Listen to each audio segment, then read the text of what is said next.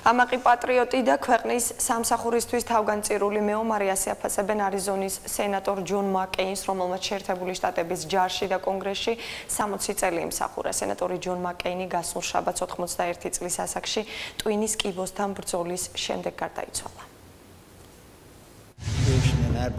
სიცოცხლის ბოლო თვეებში ჯონ სიდნი მაკეინი ამერიკის შესახებ ენერგიულად საუბარს აგრძელებდა. ჩვენ დალოცვილები ვართ, ცხოვრობ თავისუფლების მიწაზე, სადაც ყველაფერი შესაძლებელია. და პირდაპირ ლაპარაკობდა იმ სიძნელეებზე, რასაც ტრამპის ეპოქაში ხედავდა. საერთაშორისო ლიდერობის და დედამიწის ბოლო იმედად დარჩენის ვალდებულებაზე უარის თქმისთვის, რაღაც ყალბი და უძღეული ნაციონალიზმი გამოიგონეს ადამიანებმა. პრობლემების გადაჭრას განტევების ვაცების პოვნა ურჩევნიათ. ჯონ მაკეინი საჯარო სამსახურის განსახიერება იყო. ის იყო ნამდვილი ამერიკელი გმირი და არა მედიის მიერ შექმნილი ყალბი გმირი.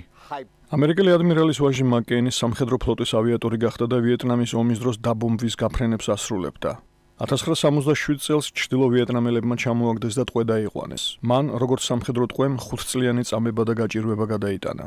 10 წლეულების შემდეგ მაკეინი რესპუბლიკელი სენატორის რანგში ვიეტნამში დაბრუნდა.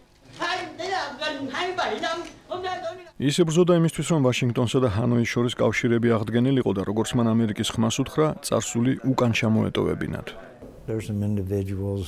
იცით რა, არსებობენ ზოგიერთები, რომლებიც წვეობაში ცუდად მეკცეოდნენ და იმედი მაქვს არასოდეს ვნახავ, მაგრამ ეს არ ცვლის ჩემ შეხედულებას, რომ ვიეტნამელები გასაოცარი და ძვირფასი მეგობრები არიან. ჩვენ ისინი გვჭირდება და მათ ჩვენ ვჭირდებით. 2001 წლის 11 სექტემბრის თავდასხმების შემდეგ მაკეინმა ტერორიზმში ეჭვმიტანელთა მიმართ წამების ტაქტიკა დაგმო და იმავდროულად ავღანეთში და ერაყში ომებს მხარი დაუჭირა.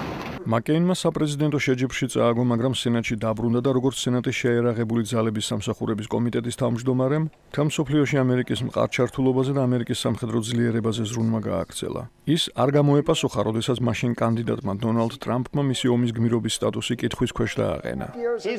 ის ომის გმირია, რადგან დაატყვევეს. არ მინდა ამის თქმა. მე ის ადამიანები მომწონს, რომლებიც არ დაუტყვევებიათ, კარგი? მაკეინი ტრამპის მართლობის სტილის და პოლიტიკის და ამასთან ერთად ვაშინგტონში უკიდურესად ერთ პარტიულობის მუდმივ კრიტიკოსად იქცა. ამის კულმინაცია გახდა კენჭის ხრაზე გადამწყვეტი ხმა, რომელმაც პრეზიდენტ ტრამპის მიერ ენერგიულად მხარდაჭერილი რესპუბლიკელების ჯანდაცვის გეგმა ჩააგდო.